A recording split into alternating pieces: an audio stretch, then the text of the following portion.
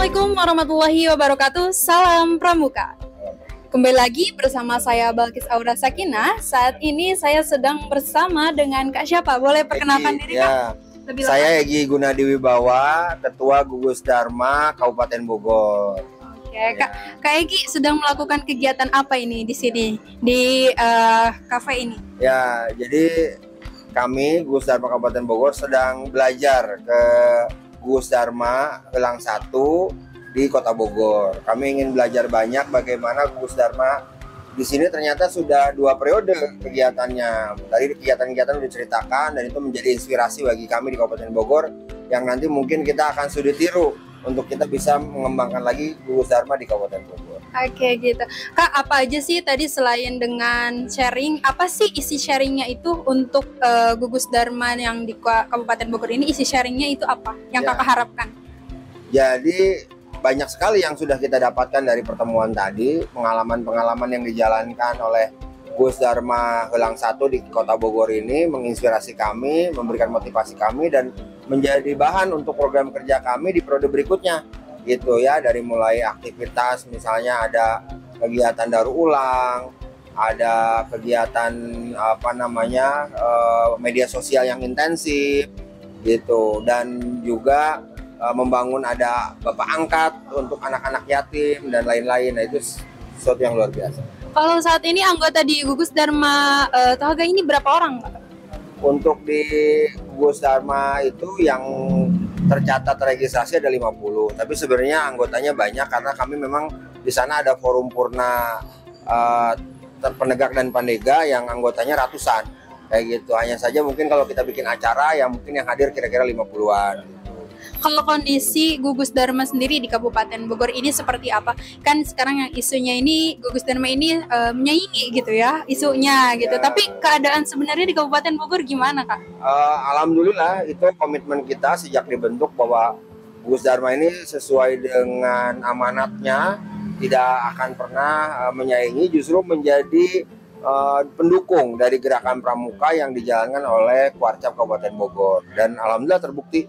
Jadi kegiatan kita selama satu periode ini, ini kan program kerja terakhir nih kami mendukung melengkapi memperkuat gitu. Jadi tidak eh, ada kekhawatiran yang pernah eh, dikhawatirkan waktu didirikan. Atau di tempat-tempat lain kan masih ada Gus Dharma yang belum terbentuk karena ada kekhawatiran itu Kabupaten Bogor enggak dan saya lihat di Kota Bogor juga enggak Alhamdulillah.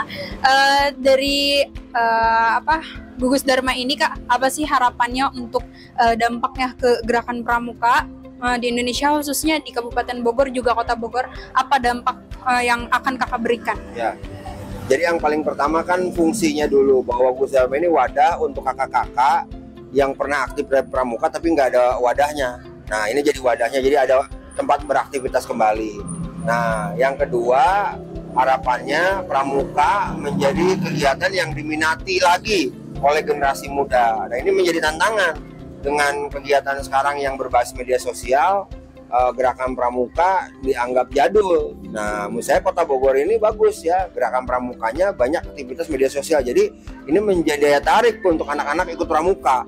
Nah, menurut saya itu menjadi inspirasi. Jadi Gus Dharma akan belajar ke situ dan memperkuat Kuarcap, Kuaran dan eh, Ambalan serta Gus Depan untuk bisa eh, me- apa namanya membuat pramuka ini diminati lebih.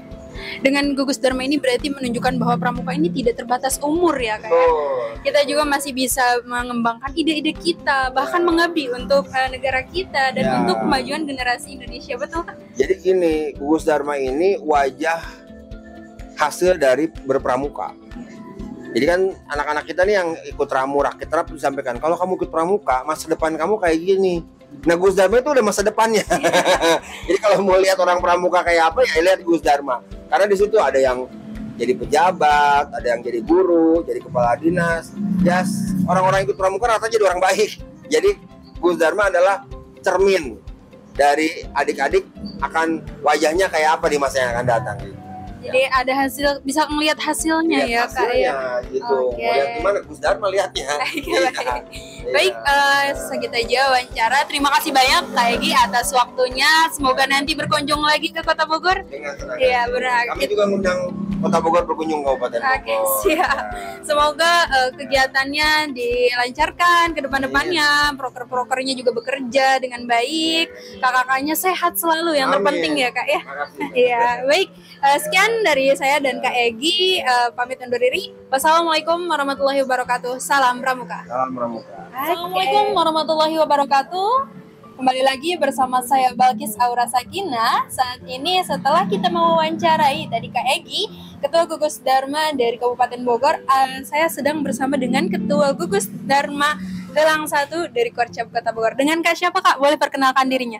Nama lengkap kakak Kak Sudewi Arni dan biasa dipanggil Kak Dewi. Kakak ini sudah lama di Gugus Dharma ini, eh, berarti sudah pengalamannya sudah begitu banyak di kepramukaan, apalagi mengikuti kegiatan-kegiatan mungkin dari SMP, SMA bahkan sampai sekarang pensiunan. Pesan terbesar apa yang ingin kakak sampaikan untuk generasi muda? Karena eh, sebagian besar yang melihat video ini adalah generasi muda Indonesia yang mungkin terjun dalam dunia kepramukaan. Apa pesan besar kakak? Salah satu pesan yang melekat untuk kegiatan kepramukaan, kegiatan ini adalah sifatnya sukarela. Jadi dalam kesukarelaan itu kita harus tetap konsisten dengan apa yang ada dalam Tri Satya dan Dasa Dharma. Itu saja diamalkan, insya Allah hidup kita akan senang, tenang, dan bahagia dunia akhirat. Masya Allah. Berarti pesannya tetap eh, kalau sudah memenuhi Trisatya dan dasar Dharma, insya Allah akan lancar semuanya ya. Iya. Oke baik. Terima kasih banyak Kak Dewi atas waktunya. Eh, saya Bagi Saura Sakina dan Kak Dewi pamit undur diri. Wassalamualaikum warahmatullahi wabarakatuh. Salam Pramuka. Waalaikumsalam warahmatullahi wabarakatuh. Salam pramuka.